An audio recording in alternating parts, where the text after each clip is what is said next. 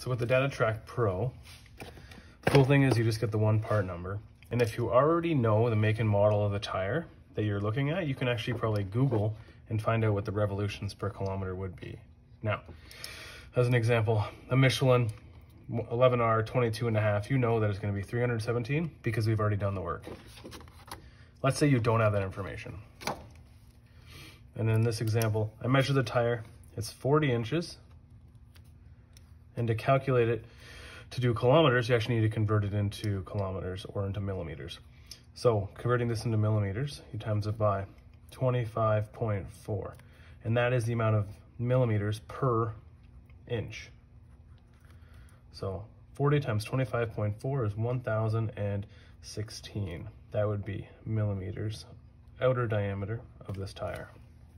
Now, taking that, you can use that information in your programmer here.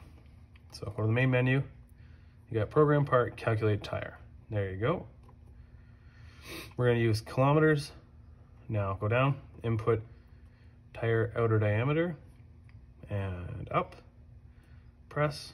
We're gonna do one, zero, one, and six. There we go. Now we'll calculate that. It's 327 revolutions per kilometer. So we'll take our DataTrac. We'll actually take out that bump there, place it into the little hole, and we'll program. There you go.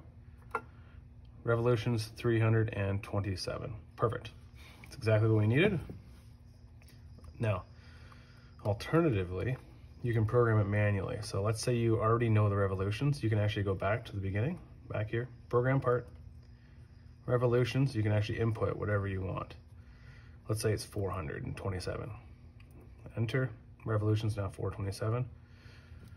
And let's say we screwed up and we were supposed to be 427. Put it back on, program. It'll allow you to reprogram it. So as long as it doesn't rotate, it'll allow to reprogram it. Let's go back. Let's say it was supposed to be in miles. Press enter, enter, enter, sorry, up and down, miles, enter, and then we're gonna go down, program.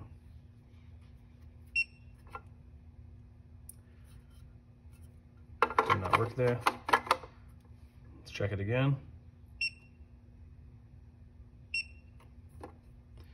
And you saw it there. So sometimes it doesn't work, you need to double check. And if you need to double check, you just put your hand over it. Sometimes it's a bit of a pain.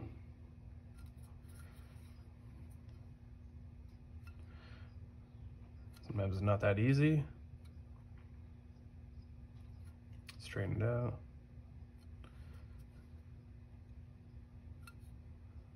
If you can't figure it out, just flip it upside down for a second. Let's try it one more time.